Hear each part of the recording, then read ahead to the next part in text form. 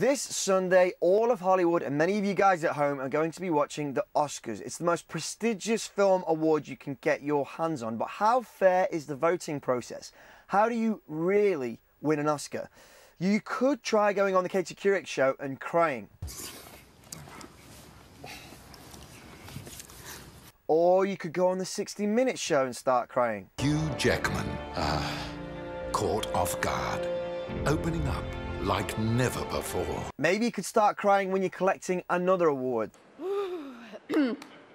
Thank you so much to the Hollywood Foreign Press Association for this award. I've wanted to be an, an, actor since I was a little girl, and I've worked for a really long time.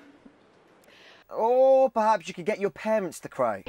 If you stick that in my mouth, I mean, I'm gonna, I'm gonna start crying. Outside of all the crying, it's been revealed that up to half a million dollars can be spent campaigning to get a film to win that infamous shiny statue. Campaigning, lobbying, call it what you will, but it definitely goes on. So is this really how you win an Oscar? We're having a debate about that very issue here on Thursday live at 7 p.m. And we'll be joined by YouTube blogger and movie reviewer Chris Stuckman, as well as Peter Rallis from the Rallis Movie Review website. We will be booking some other guests as well. So if you're interested in finding out how the Oscars really work, tune in live on Thursday at 7 p.m. and we will see you there.